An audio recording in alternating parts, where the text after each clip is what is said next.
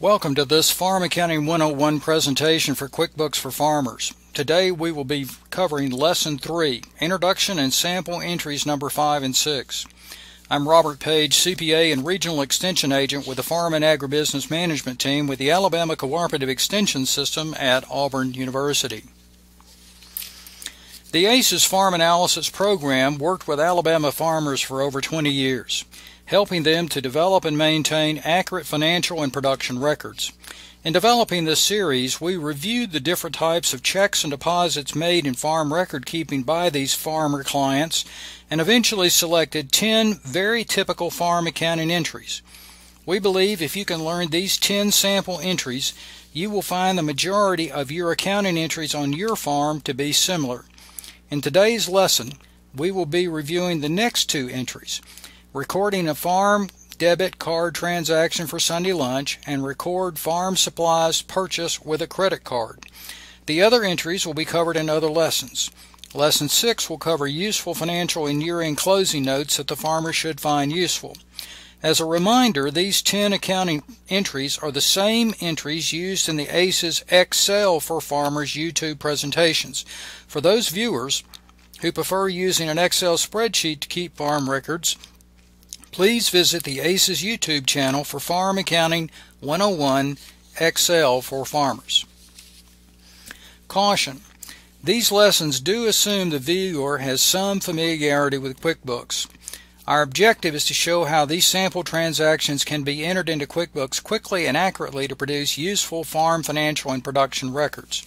In other words, this is not an introductory course on QuickBooks. Intuit and other vendors offer a wide array of training videos and manuals on this excellent software.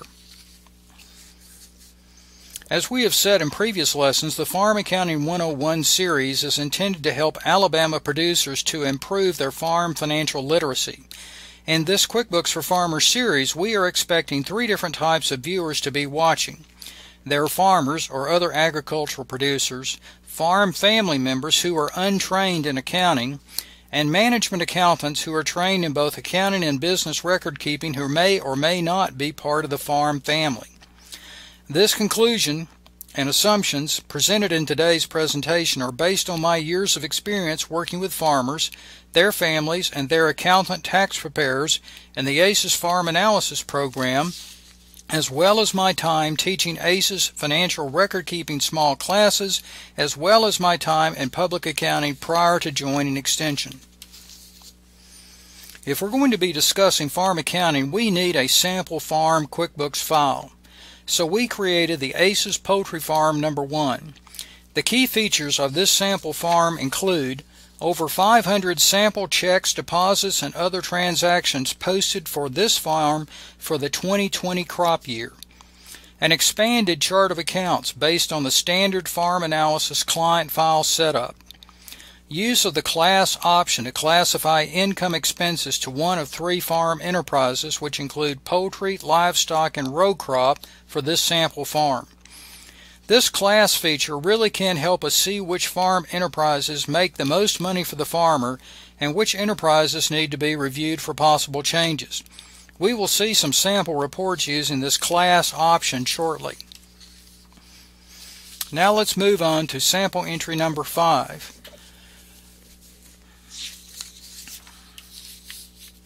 What are the facts? In this example, we're using the farm checking debit card to pay $42.40 for Sunday lunch for the family. This is a family living, non-farm, other expense account. In this example, the farmer is using farm funds, which are business funds, to pay for a personal, non-farm business expense. Therefore, this expense should be posted to either a non-farm expense account or an equity or net worth withdrawal account. Using standard farm analysis accounting methodology, this expense is charged to family living, an other expense account. Now let's change this view to look at QuickBooks. Going to enter the check. So we write the check. Today's date, there's the check number. And let's just assume this is a, a local restaurant. Let's see what we have down here. If we've got a restaurant. Well, we don't have a restaurant, so we'll just use you will use local local shop. And so we're going to pay $42.40 for lunch. And this is Sunday lunch with the family. Before I go any farther, let me point out I made a mistake. This is not a check number 2147. A debit card transactions would be either a electronic funds transfer or a DEB for a debit. Uh, you come up with your own code, but you need something other than a check number to identify that this is a, a non-check item.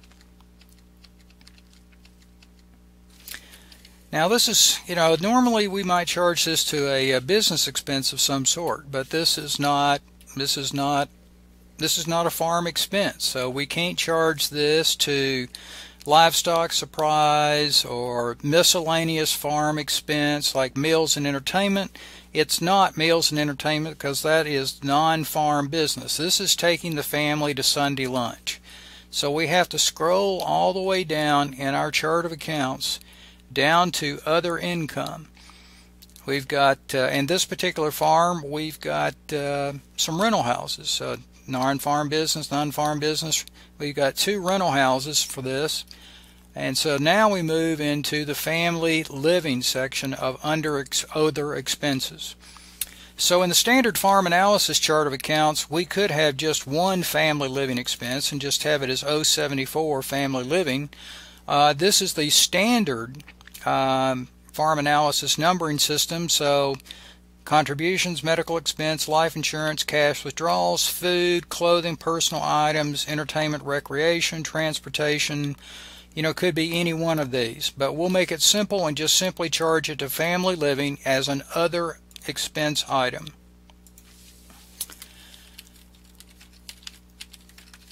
Sunday lunch, with family at local restaurant.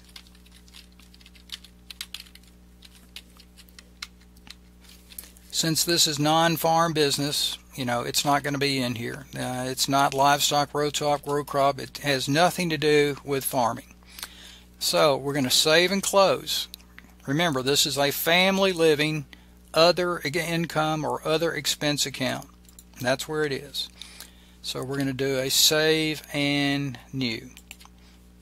Nope, no class. Now let's take a look how that appears. Here's our Aces Poultry Farm for the month of January 2021. And if you take a look so far of what we've entered in the previous lessons, we've got, uh, this is a class report. And so we've got some fertilizer crop. Here's this area up here is farm income expense. This area down here is other income and expense. And there's the sale of assets we just covered a few minutes ago. And here we are in other expense called 074 family living for $42.40 as well as our, my other favorite if you don't know where to put something just put it in 999 ask my accountant so if I wanted to see what this was I could put it over this $42 and just double click and up comes the check information and I could double click again and there's the check that I just entered. Very simple, very easy to find out what it is. And this is a classic example so far of the profit and loss report by enterprise. We've got some livestock information here, some row crop information, but nothing yet on poultry. So that completes that particular entry. So now let's go back and take a look at it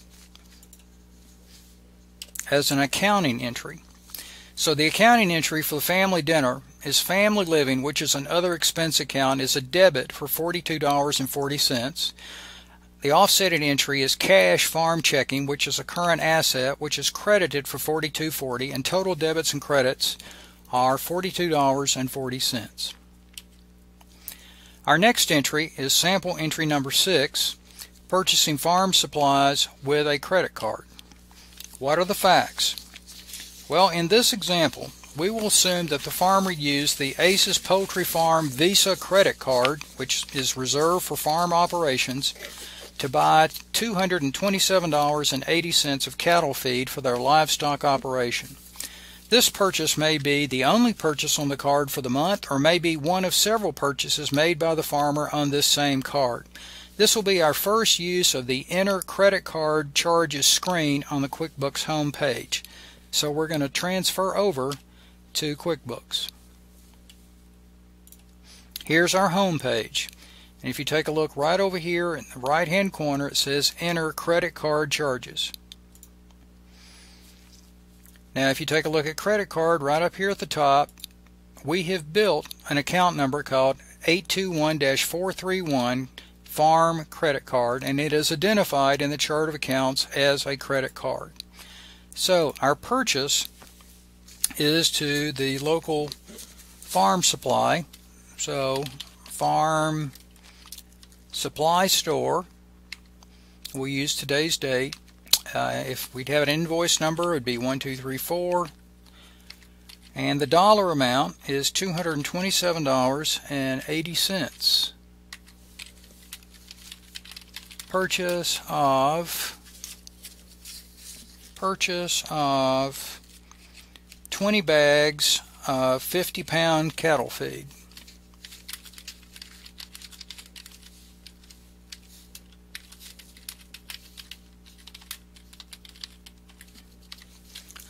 So we're going to charge that. Scroll through there and we'll be finding livestock expenses right there. Livestock supplies. And once again, we can copy and paste. Now, notice right here at the top, we've got attached file. So if we've got a copy of the invoice from the farm supply store along with a credit card's receipt, we can scan both of them and attach it to this particular screen right here. Very, very important to be able to document whatever your accounting entries are. And if you have a scanner, it'll become your best friend.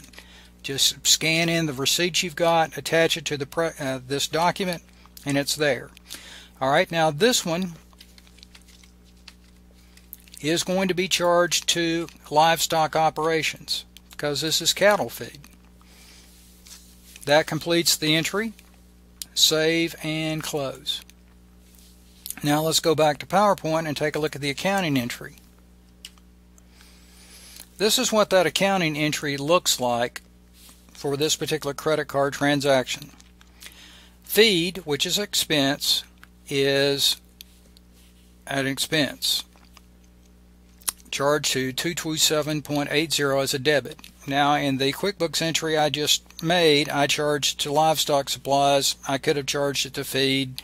Either one is fine, uh, depending on the way you keep the books for your farm. Um, the offsetting entry is for farm credit card payable, which is a current liability, for $227.80. Total debits and credits, 227.80. Here's a big note. This is one purchase on the farm credit card for the month. There may be several more purchases during the month on this credit card. As part of the month-end routine, the credit card statement will have to be matched up to the QuickBooks credit card entries to make sure the ending dollar balance on the credit card statement matches the ending dollar balance for the farm credit card payable account in QuickBooks. That's just very important that you may have 10 transactions on this credit card. You need to have all 10 of them posted in QuickBooks so that when you're reconciling it, the dollar amount in QuickBooks matches the dollar amount on the credit card statement.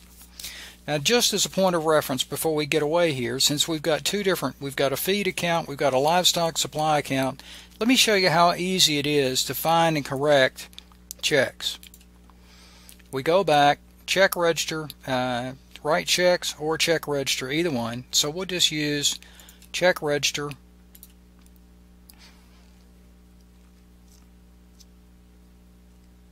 It's not going to be in the check register. It's going to be in credit card charges.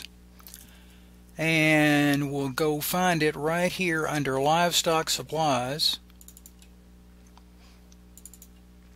And if we want to change this to feed,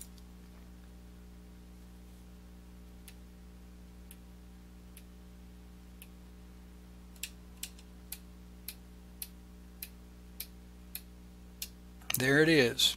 Crop or feed purchases. That shows you how easy we can make a correction and it happens all the time friends. We just need to be able to change and correct it on demand. Save and close. Yes. Now we'll go back.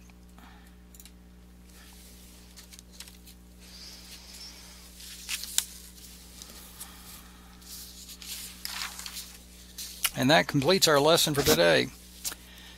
Lesson 3 for QuickBooks for Farmers is part of the ACES Farm Accounting 101 series and has been produced by the Alabama Cooperative Extension System Farm and Agribusiness Management Team at Auburn University in Auburn, Alabama.